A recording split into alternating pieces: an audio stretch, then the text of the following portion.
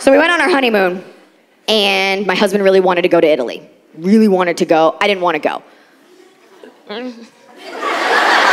I didn't want to go because I'd been, I wanted to go other places, but he wanted to go because he's a chef, and Italy is like a food mecca, so he wanted to make his Hajj, so he wanted to go to Italy, and I said yes. Not because I love him, but because like you can find alcohol pretty much anywhere.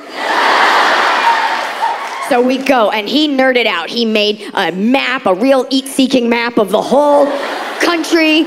And we didn't do the tourist stuff. We went to like the foodie, chefy places. We went to the region where they grow the grapes that the goats eat, the special goats, and they take a dump and it makes the fertilizer that makes the mushrooms. If you eat them, you get detained. Like we did a whole thing. And on like day five, I was like, I can't, uh, I can't do this anymore. I can't eat anymore.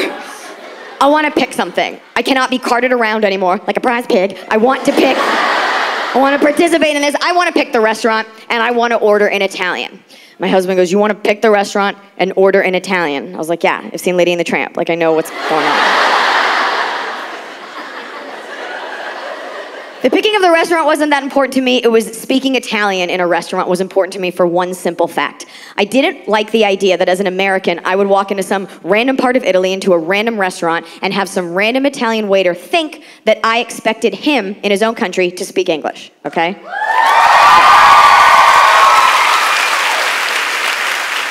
Although he probably should, like that or Spanish or Mandarin, like something that like a lot of people. So, but I'm hyper aware of how we're perceived when we travel. As an American, and I am very, very proud to be an American, I know that people are watching us. Yeah, you can cheer for that, that's fine. They have questions. A lot of them hate us because they ain't us, and they want a reason to discount you, and that goes for whoever you are, whatever you look like from anywhere. When you travel abroad and you fuck up, people will decide, oh, all of your kind are like that. And I couldn't stomach that because I am so proud to be an American and I wanted him to think all the great things about Americans that we already think about ourselves. So I wanted to walk in and have him think that we're educated and open minded and kind. And if I'm shit canned and embarrassing in public, I want people to know I'm Canadian and I'm sorry.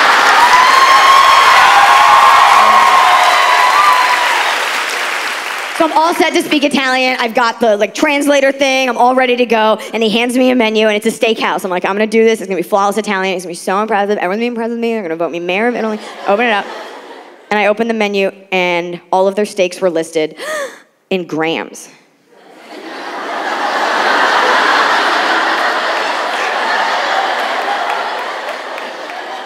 There was a 500 gram steak. What the fuck is a gram?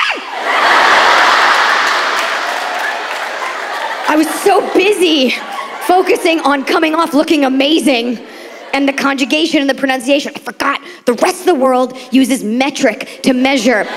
The rest of the world uses fucking logic. Tens, one hundreds, yes!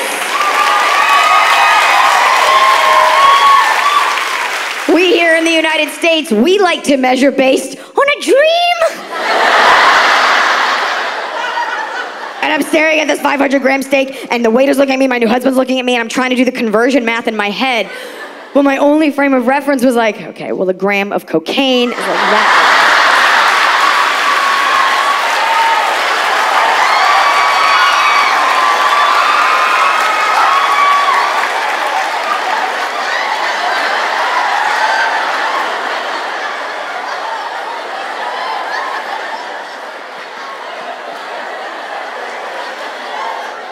You know what? We're just, we're just gonna do an eight ball of steak at the table.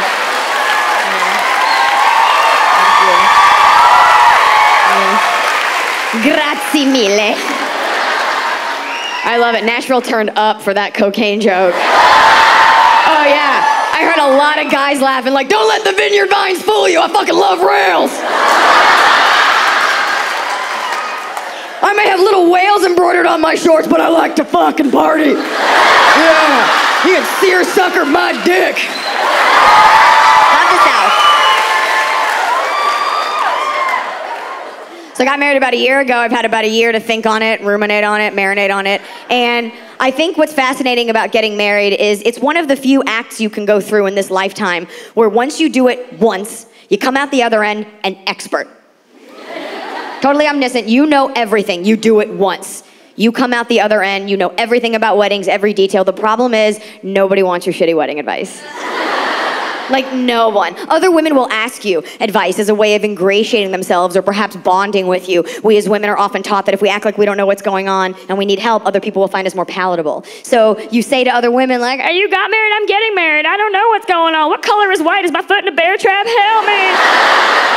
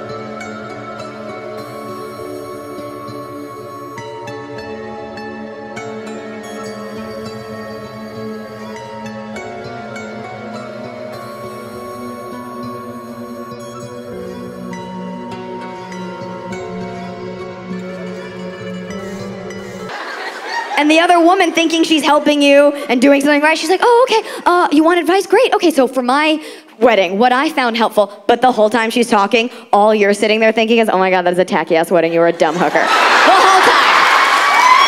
Yeah. Because every girl thinks every other girl, oh, kind of fucked it up, and you'll do better. You won't. And on that note, I've come humbly offering some wedding advice to you, Nashville. One thing you must know.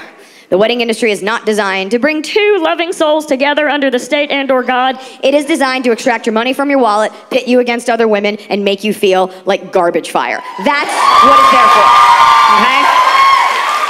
There's a litany of requirements social, cultural, traditional, all these things. Everything's got a price tag, everything takes up time. And I'll tell you what, I paid for my wedding personally. So you can best believe I took a red Sharpie and I went down that list of bullshit. And if it didn't involve me taking off my shoes, drinking tequila, or listening to Garth Brooks, we did not fucking do it.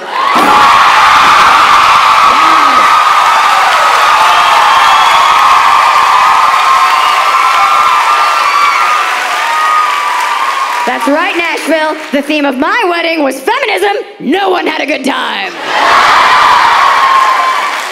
But there's all these things, all these requirements, all these traditions, these things. And I took a comedian's like microscopic lens to each thing. And I was like, is it weird? We're not doing it. So the first thing I refused to do, I would not wear a garter, okay? Okay.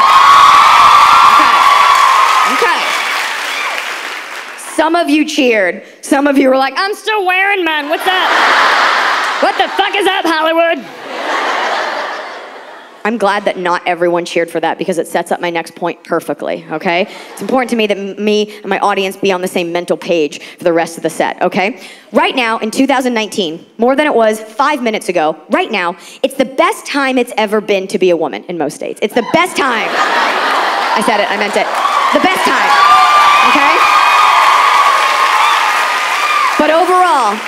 we are the most heard, the loudest in our message, the most unified. However, with this newfound sense of feminism, I have noticed that there's this weird splinter faction of feminists, of women who get angry at other women when they deign to disagree with an opinion.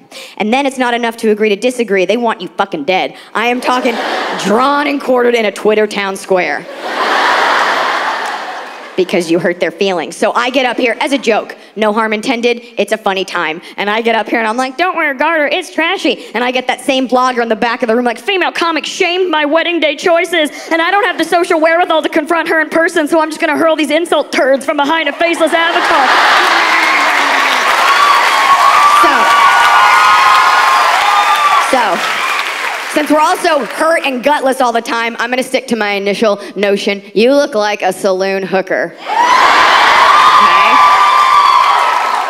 Go get married at a Six Flags. Girls, there's gotta be a middle ground where someone disagrees with you and you get the fuck over it, okay? You don't have to hate her.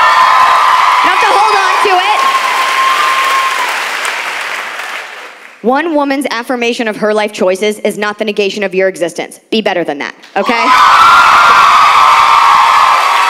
we can't walk around calling ourselves Queens, I'm a queen. She doesn't like my top. Eh, who cares? Move the fuck on. And you know who does this better? Men. They agree to disagree all the time and they're fine. You see it all the time. Guys like, he's my best friend. I don't like his politics and he's stupid. He's a son of a bitch. But I love, we didn't get along at first. We went out back, we had a drink, we fought, we had a little bit of sex, and we were good to go. good to go!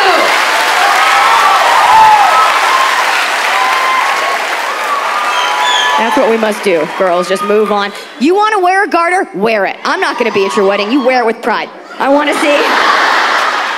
I want to see every one of your wedding pictures. You garter on, dress hiked up, holding a shotgun. Like,